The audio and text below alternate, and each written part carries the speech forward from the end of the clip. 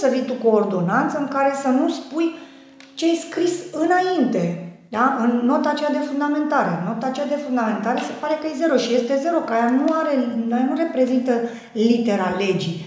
Aia, ăla este un motiv de la care se pleacă către ordonanță. Păi, din motivul ăla trebuie să duci mai departe. Adică... Dar uh, eu mă întreb ce s-ar fi putut schimba de ieri uh, până astăzi, pentru că um, au venit cu o ofertă guvernanță sâmbătă sau duminică, Sindicatele au uh, respins, au anunțat că uh, va fi continuată greva și astăzi, uh, iată, anunță suspendarea astăzi, grevei. Uh, suspendarea, deci nu încheierea ei. Adică, dar eu, prin suspendare, cum să vă spun, stau așa și mă gândesc că profesorul tot nu se poate întoarce la catedră, adică da, pentru că s-au suspendat niște contracte de muncă în perioada asta. Și ar însemna să se revină din nou la încheierea contractelor de muncă și să meargă materia mai departe. Nu știu, sincer, așteptăm și noi să vedem care e mersul, că e o bulversare totală. Nu știu ce s-a putut întâmpla. E, probabil că se pune înainte de toate interesul copilului și nu este rău. Așa trebuie. Toată lumea fierbe acum. Că, că sunt, examene. sunt examene, este foarte adevărat. Doamna ministru a mai făcut niște greșeli cu noi profesorii. Nu poți să ne pui la și altele. Ne-a pus în cui așa la anexă. E, lasă că n-am nevoie neapărat de voi, uite, găsesc soluții. Adică uh, echivalez niște examene. Acum eu vin și întreb ceva. Uh, dacă un copil din liceu, care are, de exemplu, la TIC, să zicem, sau la limbă străină, are șase medie, da? Dar până la examen, copilul acesta, adică până în această perioadă, copilul s-ar fi pregătit atât de Pentru bine. Mărire. Au pe, fost situații. Da? da? Și el ar fi luat notă mare. Cu ce drept tu, doamna ministru, prin această hârtie murdară, de echivalare, că nu scrie nicăieri în lege, deci ai așa, vii și tai copilului uh, dreptul și aripile. Adică eu n-am înțeles. Nu este, nu este legală această... Având în vedere că au dat ordonanță, este legal, dar este abuziv, dacă mă întrebați pe mine și nu numai din punctul meu de vedere. Ce să vă spun? Că, de exemplu, ieri vorbeam cu o prietenă uh, care este uh, la inspectorat uh, uh, are dreptul să meargă în inspecții. Da?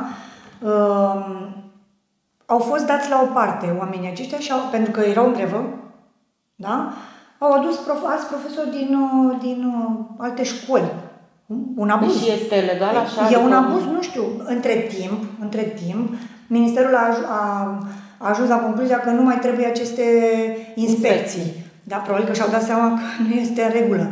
Dar vreau să subliniez um, faptul că se merge dincolo de litera legii, adică nu, nu înțeleg cum să faci lucrurile așa la modul ăsta, doar ca să demonstrezi că se poate fără profesori. Fără omul care își cere dreptul. Apropo de ministru Deca, acum 20 de ani și am văzut și eu uh, da. pe grupurile de Facebook că când, iată, ieșea în stradă alături de profesori, atunci era, nu mai știu exact, secretar la organizație Era președinte, dacă mă știu, nu știu, ceva, da. Uh, obținea 5% din PIB, iar acum spune că 2,1% este suficient. Da, pentru că mm, doamna, doamna a trecut de perioada școlarizării, Uh, probabil că stând uh, aproape de domnul președinte, domn profesor, inspector uh, Iohannis, s-a contaminat că domnului profesor și inspector i-au fost de ajuns acești 2,5% tot timpul, toată viața lui de profesor. Da? Doamna mm, soție știm că n-a intrat în grevă, ea s-a dus să-i cânte o lume minunată domnului președinte, deci lor acolo, la nivelul ăla de președinție, de, așa, de guvern, le ajunge. Probabil că le ajunge, li se pare de ajuns. Dar ca să înțelegi dacă ți este de ajuns, vedeți, când doamna era în mediul respectiv, exact. înțelegea nevoia.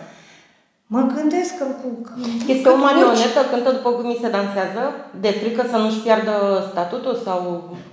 Nu știu, nu știu, mie jenă să o cataloghez așa, adică chiar refuz să văd așa un ministru, dar uh, cred că uh, dacă pleci, mă gândesc că dacă pleci mai departe de catedră sau de bancă, că ea vorbea din poziția de da, da, elev, da. de student, nu? Probabil că îndepărtându-te se micșorează, nu știu, ar trebui să-și ia ochelari, să vadă cifra necesară. Da, bine, este suficient salariu, adică... Da, pe la, na, poate n-are copii, poate ține, nu știu, apar n-am, nu știu. Vă aduceți aminte de domnul Funeriu care uh, blama, mm, cum se numește, examenele din România în condițiile în care el avea uh, copii în Franța. Exact. Făceau școala în Franța.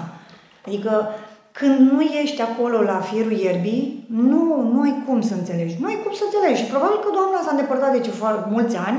Și-a uitat. Da? Și-a uitat. Ea a fost consiliera domnului președinte pe educație, pe România Educată. Și mă gândesc că rolul ei ar fi trebuit acesta, să-l țină pe, pe planeta Pământ pe domnul președinte, că de e consilier. Da, na, probabil că e jenant să-i spui șefului, vezi că greșești, nu știu. Mă gândesc. Mai vorbim astăzi de o Românie educată? România Educată a fost zilele acestea pe, acea, pe acel pod, imaginea aceea este România Educată, dar dorința domnului președinte, care este lăudabilă de altfel, da? e, este un proiect uh, pe care nu putem decât să-l salutăm și să-l ne Da, dar e un proiect cu numele, pentru că... Atât. Este o formă fără fond. Eterna formă, formă fără fond existentă în România noastră de pe vremea lui Titu Maiorescu, da? Nu ne mai facem bine. Ne place să aducem niște baloane de săpun la care să ne uităm frumos și care să nu reprezinte nimic. Ne trezim când se sparg că au fost.